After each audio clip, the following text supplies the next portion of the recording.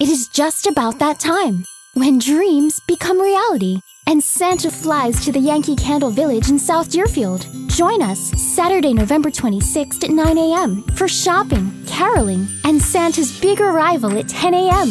The holiday excitement is in the air, and there is only one place this holiday season where special memories are created and you can live life scentfully. Saturday, November 26th at the Yankee Candle Village, South Deerfield.